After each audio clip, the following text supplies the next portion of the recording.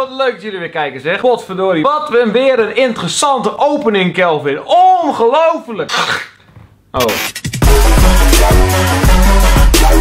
Mocht je je afvragen, hey Kelvin, nee, je bent toch die guy van die paprika's toch, man? Waarom heb je geen paprika bij, man? Let's go, man. Ja, sorry. Weet je, ik ben verslaafd aan paprika's. Dus op moment, soms moet ik even afkicken. This is Spoorma.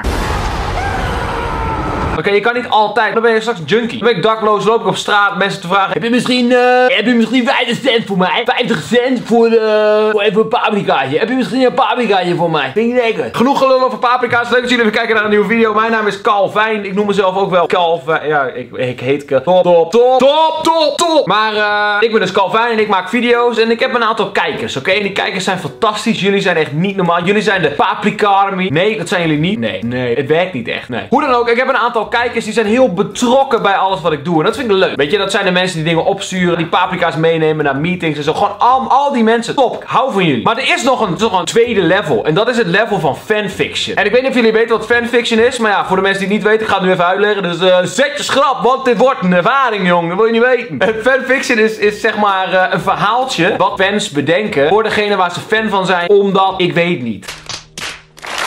Ik weet letterlijk niet waarom mensen dit doen. Maar het is top. Het is geweldig. Er zijn dus mensen die fanfiction maken van YouTubers. En ja, je raadt het al. Er zijn dus ook mensen die fanfiction maken van mij. Het is waar. Ik heb het level bereikt. Boom. Ik kan nu officieel dood. Heerlijk. Heerlijk. Dus ja, ik ga dus vandaag even fanfiction lezen. Ik heb nog nooit dit gelezen. Besef heel even, ik heb nog nooit fanfiction gelezen. Ik wist dat het er was. Het wordt mooi. Het wordt heel mooi. Kan ik nog maar één ding zeggen en dat is sit back and relax for some good old fanfiction people. Yeah. Oké, ik heb een, een fanfiction die Kelvin Boerma Just Adopted Me featuring Kelvin Boerma. Het is een fanfiction over mij featuring mezelf. Holy shit. Hier is eerst even een samenvatting van waar deze fanfiction over gaat. Komt-ie. Lisa is net 17 jaar en zit al sinds haar vijfde in het me meidenweeshuis. Ze is nog nooit geadopteerd omdat ze haar te oud vinden. Ze is groot fan van de Kelvlog, Kelvin Boerma. De Kelvlog! Dit is de grote kuil. Je luistert, je kijkt naar. De Kelvlog! Het, eh, het, het, het is Calvijn. Die is voor Dazzle en 5 Seconds of Summer. Lisa heeft natuurlijk zoals elk meisje een grote droom, namelijk Kelvin Boerma ontmoeten. Op de dag van haar 17e verjaardag krijgt ze te horen dat ze wordt geadopteerd, maar ze mag nog niet weten door wie. Wie is deze man? Ze is wel heel blij dat ze eindelijk wordt geadopteerd. De volgende dag krijgt ze hem eindelijk te zien. En hij is niemand meer dan Kelvin Boerma. Oh ja, mensen. Dank jullie wel. Dank jullie wel. Top, top, top, top. Ik heb dus daadwerkelijk iemand geadopteerd. Ik wist het niet. Ik heb even een aantal hoofdstukken eruit gepakt. Want die hele fanfiction zijn soms gewoon pagina's, hè. Hele fucking pagina's aan fanfiction. Ik heb nu gewoon een hoofdstukje eruit gepakt. Hopelijk vinden jullie het leuk. Ik heb geen idee. Oké, het begint met POV Lisa. Ik ben Kelvin.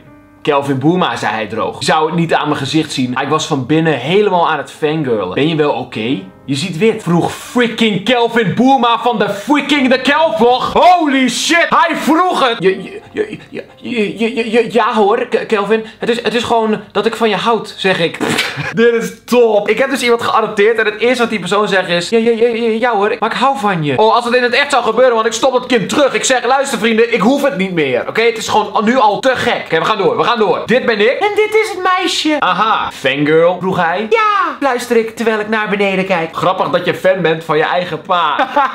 dat is letterlijk wat ik zou zeggen. Oh, heerlijk. Zegt hij, terwijl hij die o zo bekende grijns die ik al honderdduizend keer blozend heb bekeken op YouTube grijnst. Oh, bedoel je deze?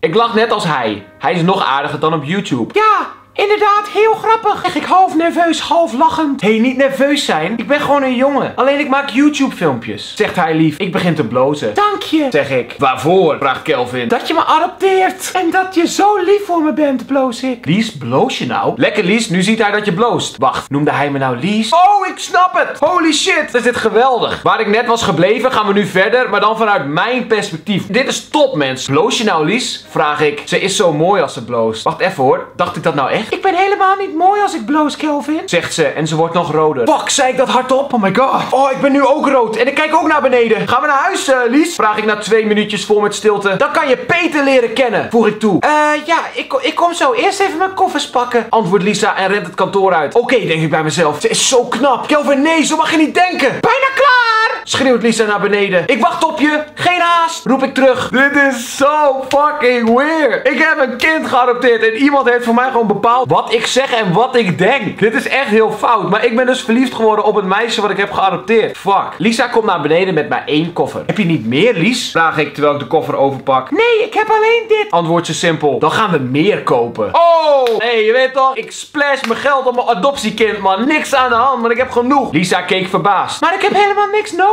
zei ze snel. Jawel. Moet ik het opnoemen? Ik ben echt een dwingende vader. Ik heb helemaal niks nodig. Jawel! Ik vroeg net aan Lisa, moet ik opnoemen wat je nog meer nodig heeft? Daarop heeft ze gezegd, ja! Oké, hier komt ie. Kleding, laptop, telefoon, schoenen, tassen, verf voor je nieuwe kamer, een bed voor je nieuwe kamer, spullen voor je nieuwe kamer, een kast voor je kleding en een huisdier, zei ik trots. Maar dat gaat zoveel kosten, antwoordt ze. Ik en Peet hebben geld zat. Het is niet net alsof Peter en ik een homo-koppel zijn. Zo van, ik ga een kind adopteren, want ik ben homo met Peter en we kunnen geen kind maken. En een kind vraagt dan aan mij, nee, maar je hebt helemaal niet zoveel geld. Jawel hoor, je twee vaders hebben genoeg money, geen probleem. En dan komt de laatste zin. Dit is top, top, top. Zijn jullie klaar voor? De laatste zin komt ie. Dit is hetgeen wat ik natuurlijk altijd zeg, dus het komt er heel makkelijk uit. Let's go to the city. Yeah, let's go to the city. Kom mee, Lisa. Wat een ervaring was dit. En we zijn nog maar net begonnen. De tweede fanfiction, ja, we gaan gewoon meteen door, is van eh, Sanne. Toppertje ben je. Hou van je dat je dit hebt gedaan. Van Friesland tot Amsterdam. Fanfiction Cinemates. Samenvatting. Fanfiction over Cinemates. Filmmakersduo dat op YouTube video's maakt. Kelvin Boema en Peter de Harder. In dit verhaal gaan twee meiden van 18, Davy en Julia, die twee nachten in Amsterdam slapen. Wat? Dit klopt überhaupt niet. Al met al, het gaat om twee 18-jarige chicks die in Amsterdam slapen. En hoogstwaarschijnlijk bij mij in bed belanden. Dat denk ik, hè?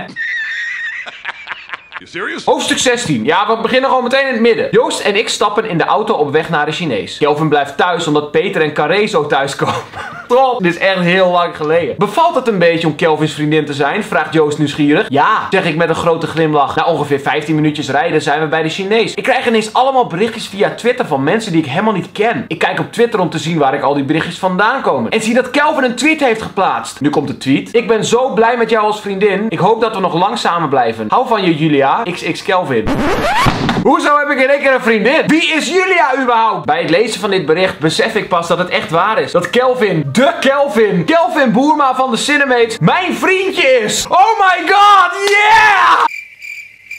Ik krijg berichtjes als Oh my god, Kelvin, gefeliciteerd. Hoop dat jullie lang samen blijven. Oh my god, Julia, ik ben zo jaloers op jou dat je Kelvins vriendin mag zijn. Maar ook minder leuke berichten als Jongen Julia, je wilt alleen Kelvins vriendin zijn zodat je op zijn beroemdheid kan meeliften. Maar ja, die negeer ik. Haatreacties houd je toch. Ik besluit ook iets te reageren. Kelvin, ik ben super blij met jou. Hou van jou.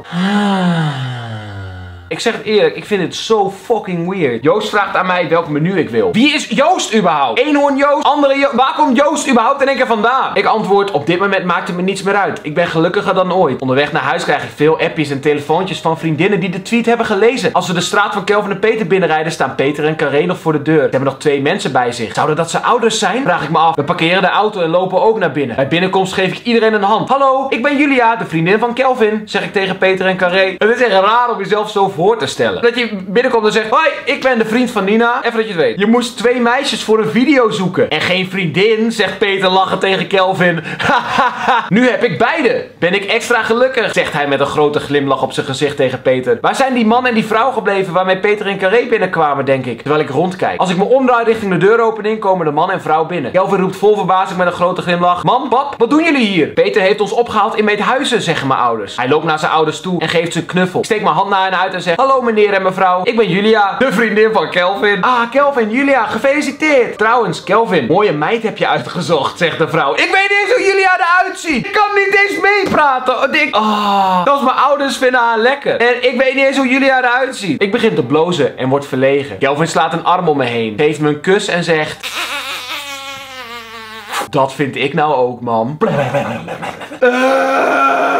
Ik ben oprecht een beetje dood van binnen. Ik heb nog meer. Ik heb nog meer. Het hoogtepunt komt nu. Waar ben ik nu beland? Calvin fanfiction. By Josie Girl. Fanfiction over Kelvin Calvin Boerma. Dit verhaal gaat over Josie. Een meisje van 18 jaar dat na het uitgaan in Amsterdam ineens op een feestje van Calvin belandt. Veel leesplezier. Hey, dankjewel Josie. Mwah, I love you. Als ik de straat in kom gelopen zie ik in de verte Eenhoorn Joost en Stuntkabouter. Waarom zitten Eenhoorn Joost en Stuntkabouter in dit verhaal? Ze staan snapchats te maken midden op straat en maken heel de buurt wakker. Ik voel me super ongemakkelijk. Moet Ik ze aanspreken of niet? Als ik mijn vriendinnen nu nog bij me had gehad, had ik dat wel gedurfd. Maar nu ze mij in de steek hebben gelaten, weet ik niet wat ik moet doen. Kelvin had me natuurlijk uitgenodigd via DM. Hé, hey, ik heb u nooit uitgenodigd. DM überhaupt niet. Misschien willen zijn vrienden helemaal niet dat ik kom. Aarzelend loop ik op ze af, maar spreek ik ze niet aan. Ineens komt Nathan, Acid, naar buiten gerend. Recht tegen me aan en gooit per ongeluk zijn hele glas bier tegen mij aan. Plots lig ik midden op straat en wordt het zwart voor mijn ogen. Dit had wel echt kunnen gebeuren trouwens. Josie, ben jij dat? Hoor ik een herkenbare stem van verre vragen. De stem klinkt vriendelijk en veilig. Mijn hoofd doet pijn en ik weet niet waar ik ben. Maar de stem stelt me gerust. Rustig maar, we zijn bij je, zegt de stem nu. Ik probeer mijn ogen voorzichtig open te doen en zie een plafond. Ik lig ineens niet meer op straat, maar op een bed. Ik kijk langs het bed en daar zitten Kelvin en Nathan. Allee zeg, zo...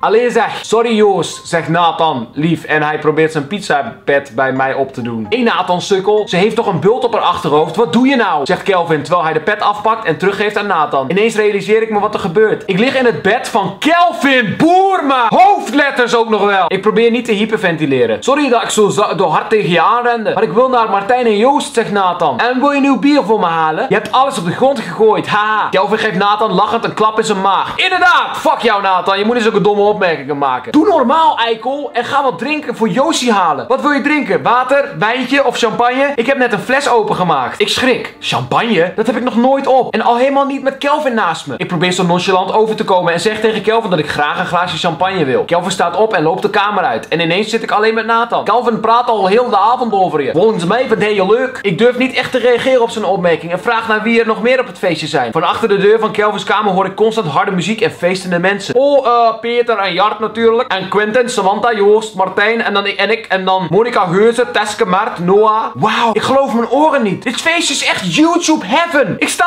op en zeg tegen Nathan dat ik nu naar de woonkamer wil. Wat is dit? Ik ga een beetje dood. Ik ben een klein beetje gestorven. Mocht je nou op een of andere manier het gevoel hebben van hé, het lijkt mij ook leuk om fanfiction te schrijven, doe het dan vooral. Is leuk joh. Kan ik eens een keer een video maken? Ga ik helemaal stuk. Hou ik van. Vergeet natuurlijk niet te abonneren op mijn kanaal, want ik heb bijna een half miljoen abonnees bereikt. En geef natuurlijk een duimpje omhoog als je de video leuk vond. Ik ben er de volgende keer gewoon weer. Ik doe je. Dag. Op. Ah.